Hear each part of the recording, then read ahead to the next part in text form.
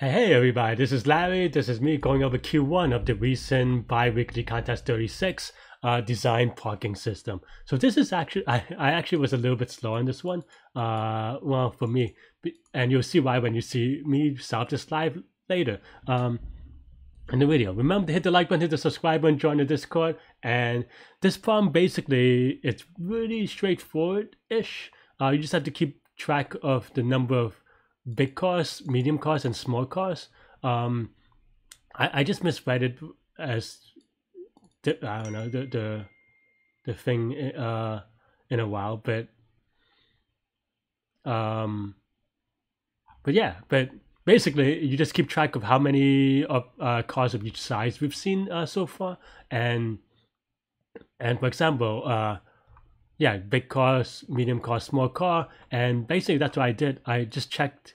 I for every uh, car type that comes in, I subtract it from the thing, and I re I make sure to reindex or index big, medium, and small as one, two, and three. That's basically what I do here, uh, and then this makes the return type easy because that means that if after we take up a slot, it has zero or more slots free, that means that we added the card successfully. And that's pretty much how I solved Q1. Uh, you could watch me solve it live next.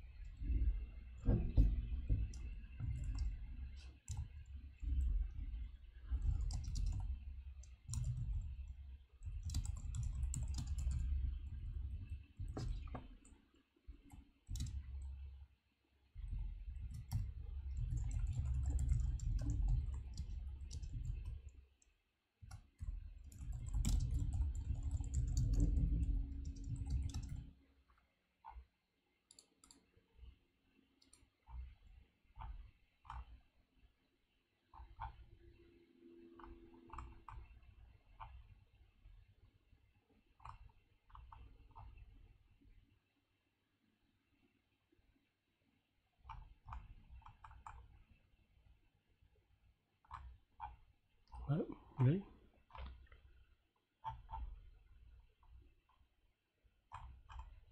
MS with this. Oh, small story. Whoops.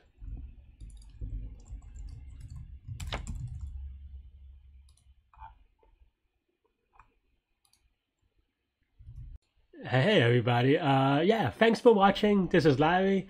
Uh this is me out. Uh hit the like button, hit the subscribe button, join me on Discord. I hope you had a great contest. I hope you, you had a great problem. Uh, let me know what you think. Let me know if you have any questions, and I will see y'all next contest. Bye bye.